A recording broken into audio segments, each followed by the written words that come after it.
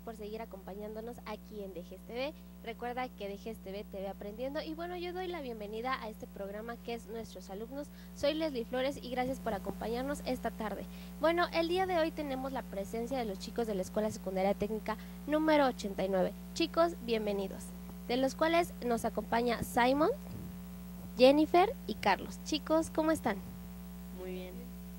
Bueno, ellos nos vienen a platicar un poquito acerca de los deportes que practican. Cada uno practica un deporte diferente, ¿verdad, chicos? ¿Quién me quiere empezar a platicar acerca del deporte que practican? Adelante. Este, mi nombre es Jennifer. Eh, yo practico el deporte de la natación.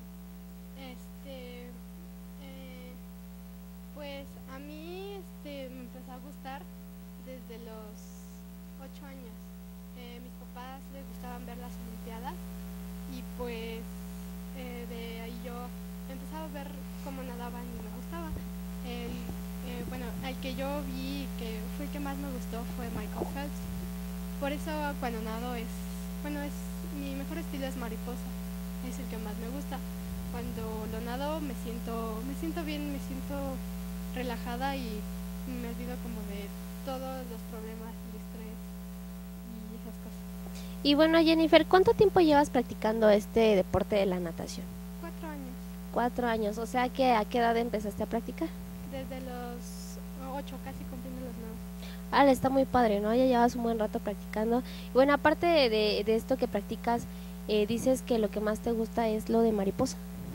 Mariposa. ¿Por qué dices que? Porque, porque te inspiraste en Michael Phelps. ¿Sí?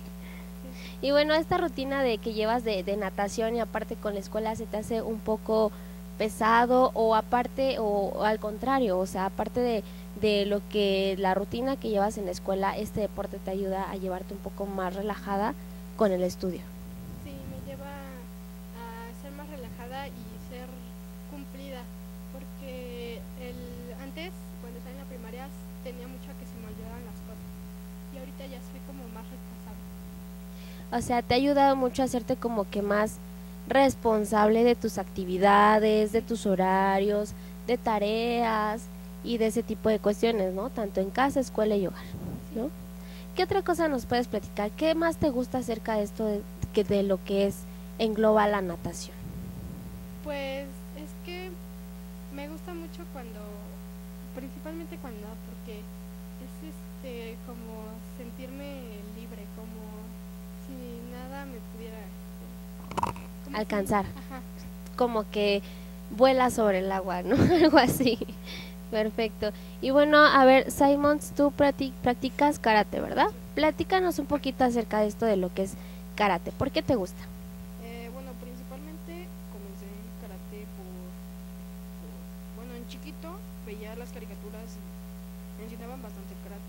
Cuando lo mencionaban, pues me daban ganas de practicar eh, a mí me gusta este, por la cuestión de la actividad física de una cosa llamada kata, que es un combate invisible.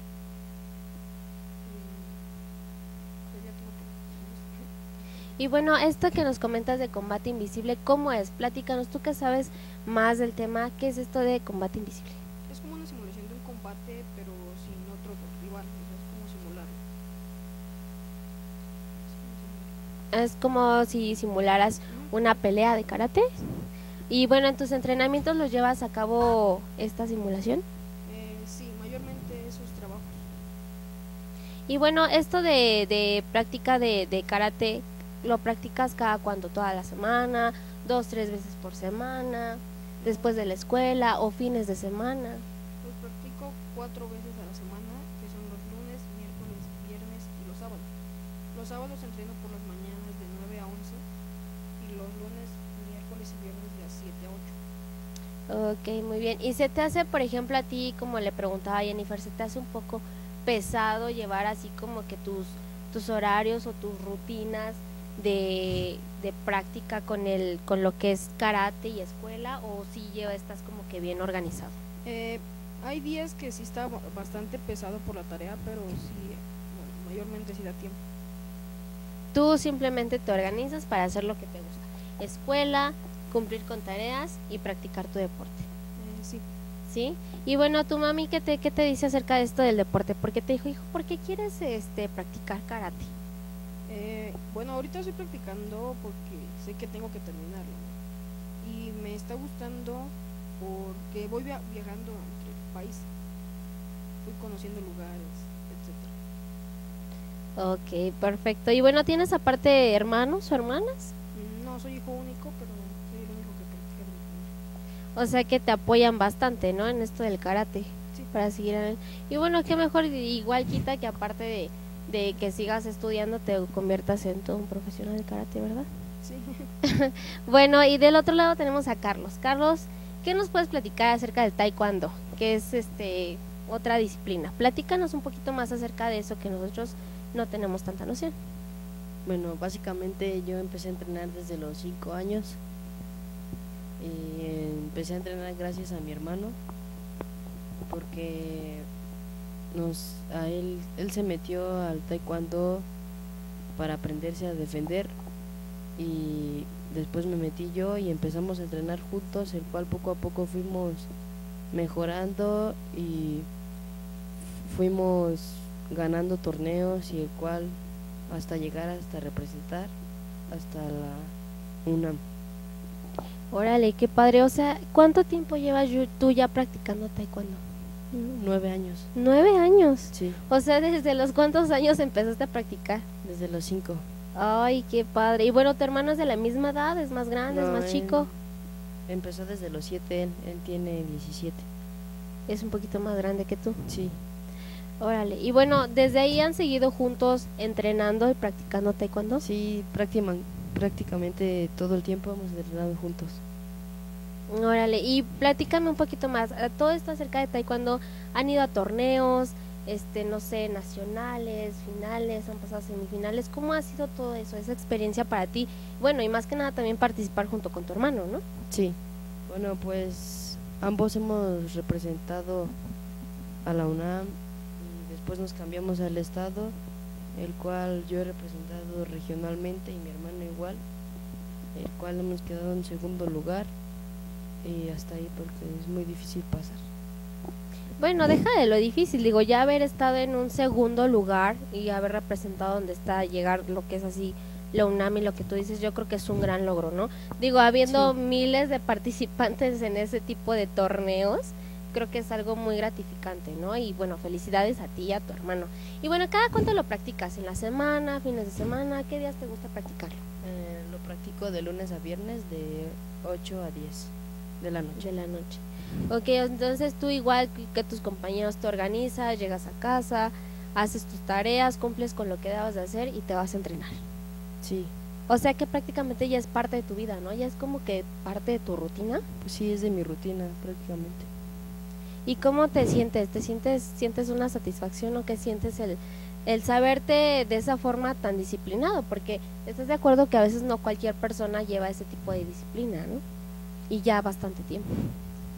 Pues básicamente me siento orgulloso gracias a mis padres que me han apoyado desde los cinco años, el cual no todas las personas tenemos el mismo la misma economía, calidad de vida, el cual muchas personas quisieran estar como aquí mis compañeros estamos.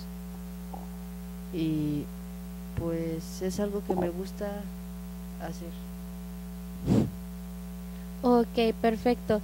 Y bueno, de ustedes más chicos, ¿qué me pueden platicar acerca de este deporte que practican? ¿Se sienten eh, orgullosos que sean parte, unas, bueno, sean alumnos que, que, bueno, que resaltan a su escuela?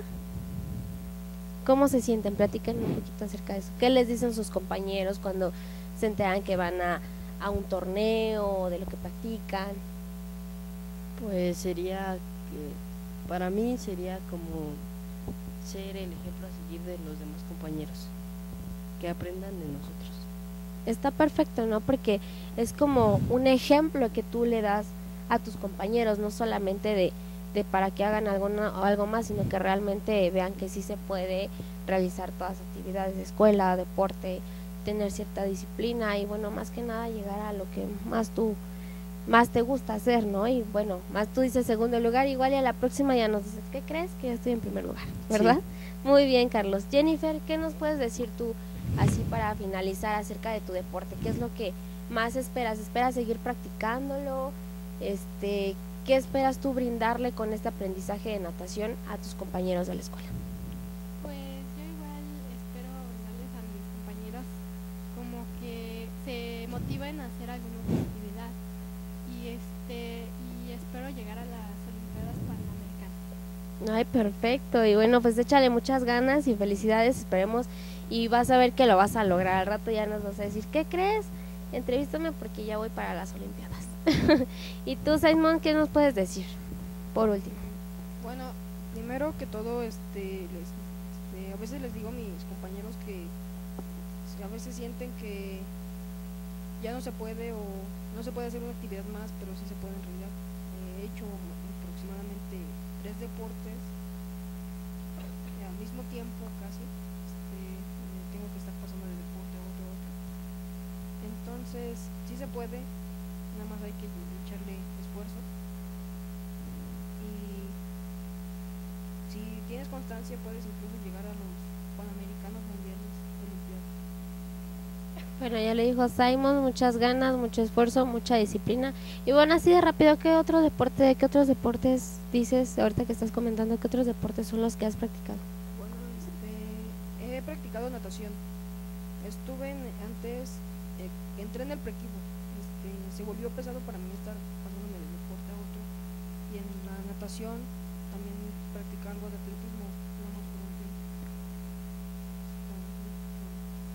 Ok, perfecto. Muy bien, chicos. Bueno, gracias por habernos acompañado el día de hoy, por compartirnos, bueno, esta experiencia y lo bien que se siente el practicar el deporte que les gusta. Y bueno, más que nada que sus compañeros vean que realmente se puedan, se pueden lograr muchas cosas, ¿verdad? Siendo constantes y poniendo un gran esfuerzo y empeño de su persona, ¿verdad?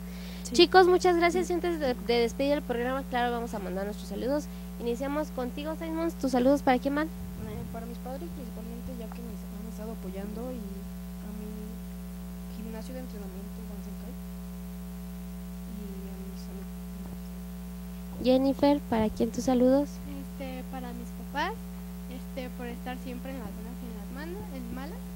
Este, a mis amigos que me han levantado el ánimo cuando ya no quiero ir a, a hacer mi deporte y a mis profesores que son los que me indican qué hacer y cómo hacer las cosas. Ok, perfecto. Saludos a todos ellos. Y por último, Carlos, sus saludos para... Eh, para mis padres que me han apoyado siempre, a mis profesores que gracias a ellos he llegado a estar hasta aquí, a mi familia, a mi familia y a donde vivo.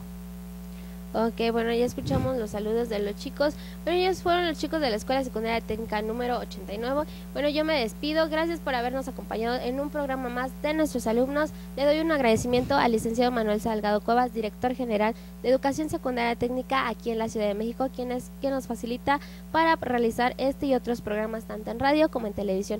No te despegues y seguimos con más programación. Nos vemos a la próxima. Soy Leslie Flores y adiós. Adiós, chicos.